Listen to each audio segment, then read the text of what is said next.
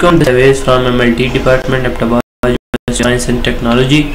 Today we are going to discuss our molecular biology topic proteome. So without wasting our time, let us move toward this presentation. In this lecture, we are going to study introduction of proteome, definition, proteomics, types of proteomics, structure of protein, techniques that are used in proteomics, and then application of proteomics. So in introduction of proteomics, proteome is basically a modern technique that is used to study proteins.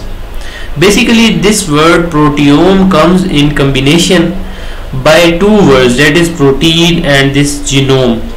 Protein and genome collectively form proteome in 1994 by Marc Wilkins. In definition of proteome, we can say that total protein content in a cell at a given time at a particular environmental condition is known as proteome. So in some specific situation at a specific time the total protein component of a cell is known as proteome. So what is proteomics? Proteomics is basically the study of proteome and it is a large scale study of proteins. And in proteomics we study how proteins are modified when and where they are expressed how they are involved in metabolic processes how they interact with each other. Now the most important point is that the proteome is larger than a genome. Why? The reason is that in proteomics there is a large diversity why diversity? This diversity is due to the alternative splicing or we can say post-transcription modifications that after transcription there are some changing in the product that can diversify the product. So due to this reason there is a proteome, the proteome is larger than the genome. So here is a concept of protein, proteome. Uh, the study of DNA is known as genome. The study of RNA is known as transcriptome and then protein that is formed through messenger RNA and that messenger RNA formed through DNA through a transcription process is known as proteome. So here is the basically flow diagram that show where protein comes from. So why we study proteomics? That have already discussed because we have no idea of the product of the gene product. So to study the possibility of gene expression we study proteomics. To study protein structure function we study proteomics. To study post transcription modifications like phosphorylation ubiquitination we study uh, all about proteomics. So proteomics is complicated than genomics. Why? I have discussed recently so protein expression uh, protein expression is the formation of protein uh, that may be in vivo or in vitro. In vivo mean in the body and in vitro mean in the laboratory. In vivo we have discussed that dna from messenger rna through process transcription and then messenger rna to protein that is translation. And in vitro in laboratory we uh, synthesize protein through a recombinant DNA technology we use a bacteria uh, the plasmid of a bacteria and then isolate the gene of interest and insert in this plasmid and culture and provide this cell a optimum temperature and optimum environment. Then after its growth the um, protein that we have inserted the protein of interest also grows. And then uh, in the last steps we eliminate the protein of interest from this uh, from this uh, mm, plasmid so this has uh, this has have been discussed in the last slides uh, from where protein comes from DNA DNA to RNA RNA to protein protein to metabolites.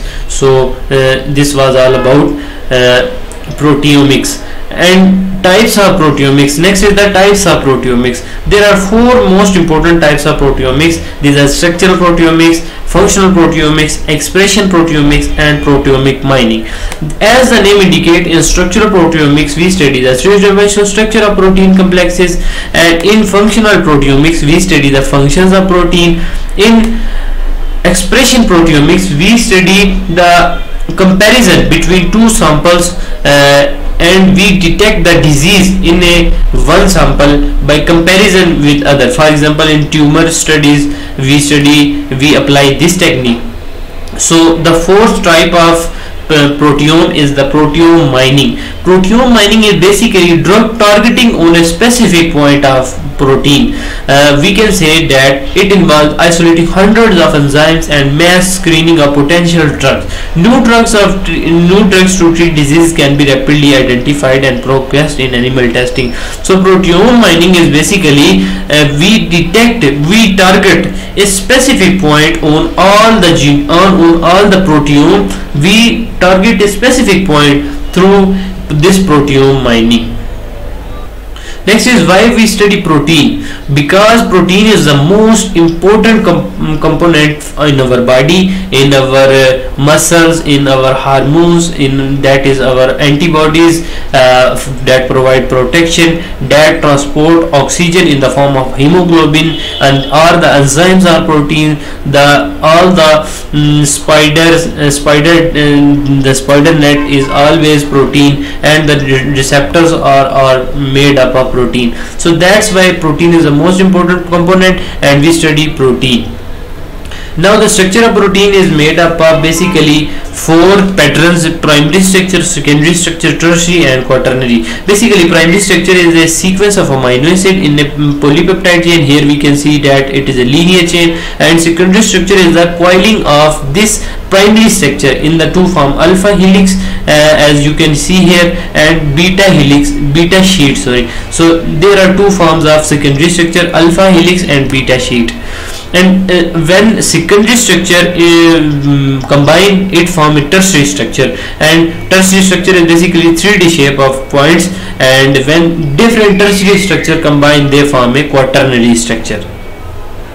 Here you can see that this is a primary and then secondary and then tertiary and then quaternary structure of protein now what are the techniques that are used in proteome proteomes in there are two types of technique low throughput techniques and high throughput techniques.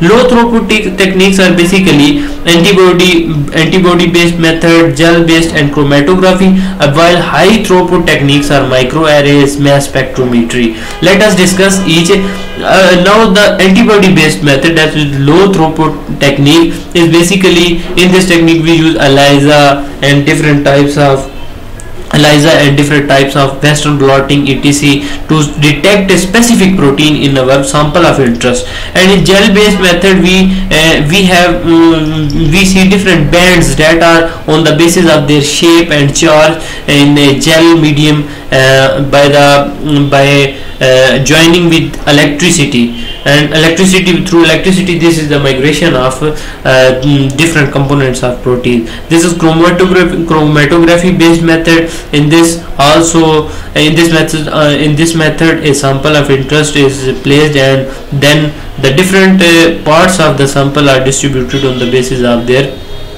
on the basis of their uh, molecular weight etc. Micro uh, a microarray is basically a technique in which we uh, put a sample of interest on a immobilized medium immobilized gel you can say and chip uh, through which we detect uh, it active and inactive genes and detect our different types of protein so different diseases are also detected by these techniques. Uh, last is the mass spectrometry. Mass spectrometry is basically proteins are firstly ionized in this and then the ionized uh, proteins are accelerated and then move through a um, specific magnetic material um, magnetic field sorry that uh, measure the and at the last there is a detector that measure a specific current that that is fed by that molecule. And this and this tandem mass spectrometer is specifically mm, designed that also determine the peptide sequence